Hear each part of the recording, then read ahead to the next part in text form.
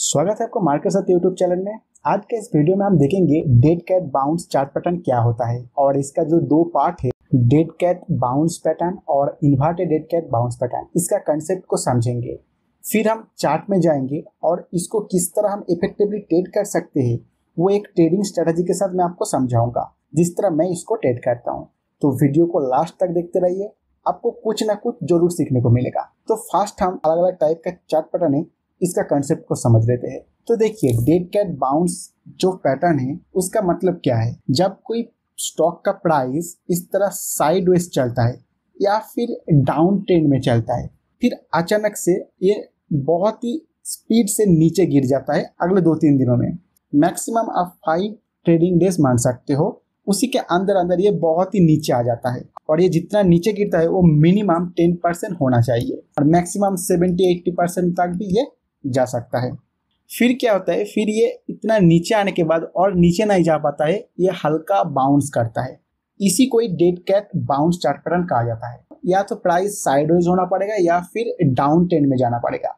फिर नेक्स्ट तीन चार ट्रेडिंग सेशन में ये बहुत ही स्पीड के साथ नीचे गिर जाता है और नीचे जो गिरता है वो टेन परसेंट से ऊपर होना चाहिए। फिर जाके थोड़ा बाउंस करता है। तो इसी को ही dead cat bounce chart pattern कहा जाता है। इसके बाद हो सकता है कि प्राइस फिर से नीचे चला जाए। या फिर हो सकता है कि ये पे ये कंसोलिडेट करता रहा, या फिर हो सकता है ये फिर से ऊपर चला जाए। लेकिन आमतौर पर जो माना जाता है dead cat bounce chart pattern में, वो ये नीचे साइड चला जाएगा, ऐसा माना जाता है। मतलब इस तरह ये नीचे आया, फिर बाउंस कर रहा है, फिर से ये अपना जो ट्रेंड है मतलब जो ये नीचे गिरा था इतना स्पीड में, उसी ट्रेंड को ये कंटिन्यू करेगा, ऐसा माना जाता है। तो इसको आप किस तरह इफेक्टिवली ट्रेड कर सकते तो अभी हम एग्ज़ाम्पल के साथ देखेंगे। और जो inverted dead cat bounce chart pattern है, वो इसका पूरा उल्टा है। जैसे ये इस तरह कंसिलरेट कर रहा है, या फिर स्टॉक का जो प्राइस है, वो आप ट्रेंड में है। फिर अचानक से अगले दो तीन ट्रेडिंग सेशन में ये ऊपर चला जाता है, बहुत ही स्पीड के साथ। और ये जो ऊपर जा रहा है, ये टेन परसेंट से ऊपर होना पड़ेगा, और मैक्सिमम सेवेंटी से एट्टी परसेंट तक जा सकता है। फिर क्या करता है, ये और ऊपर नहीं जा पाता है, वहीं से ये थोड़ा बाउंस करता है। और ये जो बाउंस कर रहा है, ये कितना करेगा, ये कोई फिक्स्ड नहीं है। ये इसका मिडिल पॉइंट तक भी कर सकता है, या जहाँ से ये ऊपर गया था, वहाँ तक भी ये कर सकता है। फिर जाके ये थोड़ा कंसोलिडेट भी कर सकता है, या फिर नीचे भी चला जा सकता है, या फिर यहाँ से ये ऊपर चला जा सकता है। लेकिन जैसे मैंने इसमें कहा था कि आमतौर पर माना जाता है कि ये अपना जो ट्रेंड है मतलब यहाँ से जो ये ऊपर गया था, उसी ट्रेंड को ये कंटिन्यू करता है। तो इसको भी आप किस तरह ट्रेड कर सकते हो इफेक्टिवली वो भी हम चार्ट में जाके देखेंगे। तो चलिए, अभी चार्ट में जाके देख लेते हैं, ये दोनों चार्ट पैटर्न को हम किस तरह इफेक्टिवली ट्रेड कर सकते हैं। तो आपके सामने मैं चार्ट प्लॉट कर लिया तो आप यहाँ पे देख सकते हो प्राइस एक डाउन ट्रेंड में चल रहा था। फिर थोड़ा यहाँ पे ये कंसोलिडेट करना शुरू किया, और इस जगह पे आप देखोगे, बहुत ही शार्प नीचे आया। एक, दो, तीन, चार दिन से बहुत ही शार्प नीचे आ रहा है तो और इसका जो हाई पॉइंट है और इसका लो पॉइंट है, इसका डिफरेंस हो रहा है, लगभग फोर्टीन परसेंट मतलब फोर्टी परसेंट का ये गिरावट आया है नीचे। फिर जाके ये थोड़ा पुल बैक किया है, ऊपर साइड मतलब ये बाउंस किया। तो यहाँ पे ये dead cat bounce chart pattern बन चुका है। अभी यहाँ पे क्या हो सकता है? या तो नीचे चला जा सकता है, जैसे ये गया नीचे इस तरह। लेकिन हो सकता था कि ये ऊपर भी चला जाए, या फिर यहाँ पे साइडवेज भी जा सकता था। लेकिन ये नीचे चला गया तो आप इसको किस तरह ट्रेड कर सकते थे? मतलब किस सेटअप के साथ आप इसको ट्रेड कर सकते थे? वही मैं आपको बताऊँगा। तो उसके लिए मैं मूविंग एवरेज को यूज़ करता हूँ। टेन पीरियड का सिंपली मूविंग एवरेज और थर्टी पीरियड का एक्सपोनेंशियल मूविंग एवरेज को यूज़ करता हूँ। और इसके साथ मैं एडीएक्स का भी यूज़ कर लेता हूँ। तो मूविंग एवरेज को किस तरह यूज़ करना है कौन सा कौन सा मूविंग एवरेज आपको लगाना है, उसके ऊपर मैं एक डेडिकेटेड वीडियो बना चुका हूँ, जिसको आप देख सकते हो। लिंक आई बटन में आ रहा है तो वहाँ पे जाकर आप देख सकते हो। तो इसके ऊपर अभी मैं उस मूविंग एवरेज को और एडीएक्स को प्लॉट कर लेता हूँ।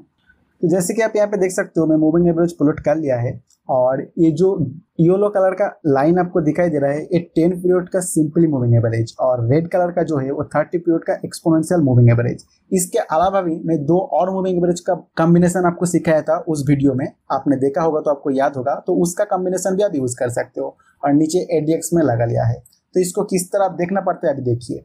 तो फास्ट ये जो मूविंग एवरेज है, ये आपको फिल्टरेशन का काम करेगा। टेन पीरियड का moving average simply moving average अगर thirty period exponential moving average का नीचे है तो ये आप फर्दर स्टडी करेंगे कि इसमें सेल किया जा सकता है या नहीं। मतलब फर्दर आप जाके जो प्राइस एक्शन है उसको देखेंगे। इसके अलावा इस मूविंग एवरेज का और कोई काम नहीं है। तो देखिए प्राइस यहाँ पे नीचे आया, फिर बाउंस किया। और एक चीज़ आपको देखना होगा कि प्राइस कम से कम एक बार इस मूविंग एवरेज को टच करे। मतलब जो स्लो मूविंग एवरेज है, टेन पीरियड का मूविंग एवरेज है, वो बाउंस करते वक्त इसको एक बार कम से कम टच करे। टच करके ऊपर भी जा सकता है। लेकिन ध्यान रखना कि थर्टी पीरियड का मूविंग एवरेज को ऊपर जाके क्लोज ना कर दे। उसके ऊपर क्लोज कर दे तो आपको इग्नोर करना है तब। और इसको एक बार टच करना होगा। तो आप देखोगे इस कैंडल में आके ये टच किया। यहाँ पे जो एक स्पिनिंग टॉप जैसा या डोजी टाइप का इंडिसीजन टाइप का कैंडल आप कह सकते हो, उसने जाके टच कर लिया। इसके ऊपर क्लोज करे या ना करे वो ज़रूरी नहीं है, लेकिन इसका जो हाई पॉइंट है वो कम से कम एक बार टच करना पड़ेगा। तो यहाँ पे टच कर लिया। तो आपका भी प्राइस एक्शन देखना होगा। तो आप यहाँ पे देखोगे कि इस साइड एक ट्रेन लाइन है। तो उसी ट्रेन लाइन तक ये बाउंस किया। फिर डेट कैट बाउंस पैटर्न तो यहाँ पे बन रहा है और यहाँ पे एक ट्रेन लाइन भी है। तो आपको यहाँ पे इसको सेल करने के लिए सोचना है। लेकिन क्या इसी कैंडल में सेल करना था इस पर्टिकुलर चार्ट पैटर्न में? तो नहीं, क्योंकि एक इंडिसीजन टाइप का कैंडल है। तो आपको वेट करना था कि इसका लो के नीचे जाके जब जाएगा तो आप सेल कर देना था। तो आप अगर कंजर्वेटिव ट्रेडर हो तो आपको वेट करना था कि नेक्स्ट कैंडल इसके नीचे क्लोज करेगा तो ही सेल करना है। और आप अगर थोड़ा रिक्स ले सकते थे तो इसका नीचे जब क्रॉस कर रहा है मतलब इस लो के नीचे जब क्रॉस करके नीचे जा रहा है, तभी आप सेल कर सकते थे। तो इस कैंडल आप देखिए एक बहुत ही स्ट्रॉन्ग बेरिस कैंडल तो यहाँ पे आपका सेल सिग्नल जनरेट हो जाता था। और जो एडीएक्स है, इसका क्या काम है देखिए। जब आप सेल करने का डिसीज़न ले रहे हो तो तब जो एडीएक्स का वैल्यू होना चाहिए, वो ट्वेंटी के ऊपर होना चाहिए। तो ही आप सेल करना, वरना इसको इग्नोर कर देना। तो अभी हम इन्वर्टेड डेट कैट बाउंस का एग्ज़ाम्पल को देख लेते हैं। तो इस चार्ट में आप देखिए प्राइस काफ़ी टाइम से कंसिडरेट कर रहा था। अचानक से दो तीन दिन में ही प्राइस बहुत ऊपर चला गया। फिर जाके ये बाउंस किया मतलब नीचे आ गया। तो यही बन चुका है dead cat bounce chart pattern मतलब ये inverted dead cat bounce chart pattern अभी आपको क्या करना है, अभी आपको फिल्टरेशन करना है, उसी मूविंग एवरेज को लगा के। और देखना है कि आपको अभी कब बाय करना है। हो सकता था प्राइस यहीं से ऊपर चला जाए या फिर कंसोलिडेट करके ऊपर चला जाए, जैसे किए गया, या फिर हो सकता था ये नीचे चला जाए। लेकिन आपका जो दिमाग में होना चाहिए कि आपको बाय साइड के लिए ट्रेड करना है। क्योंकि इस dead cat bounce chart pattern का जो साइकोलॉजी है पीछे का, वो ऐसा ही है कि जब ये ऊपर जाता है, फिर बाउंस करता है तो एक बार ना एक बार ये ऊपर चला जाता है। तो आपको उसी को आइडेंटिफाई करना है कि कब ऊपर जा रहा है। तो इसके ऊपर मैं अभी मेरा सेटअप को लगा लेता हूँ। तो अभी क्या देखना है आपको? आपको देखना है कि ये जो स्लो मूविंग एवरेज ये ये ऊपर रहेगा तो ये आपको बाय करने का सोचना है। तो इस जगह पे ऊपर है। लेकिन जो प्राइस एक्शन है उसको भी आपको कंफर्मेशन लेना है। तो यहाँ पे आप प्राइस एक्शन देख सकते हो ये जो कैंडल है, ये स्ट्रॉन्ग बुलिस कैंडल नहीं है। मतलब प्राइस तो ऊपर जा रहा है, लेकिन फिर वहाँ से जो सेलर है, उसको नीचे दब रहा है। और यहाँ पे इतना बड़ा एक गैप है। तो इसी के आसपास इस तरह का कैंडल बन रहा है तो आपका यहाँ पे बाइंग सिग्नल जनरेट नहीं होता है। तो आप देखो ये नीचे आया, फिर जब ये नीचे आया तो इसका मूविंग एवरेज है, इसका डाउन स्लोपिंग हो गया। बहुत ही स्पीड से डाउन स्लोपिंग हो गया। तो इस टाइम आपको इग्नोर करना है। तो अब इस तरह ये छोटा छोटा छोटा सा कैंडल बना के जा रहा था तो तब जो एडीएक्स था, वो ट्वेंटी के नीचे आ गया था इस एरिया में। तो आपको इस टाइम इग्नोर कर देना था।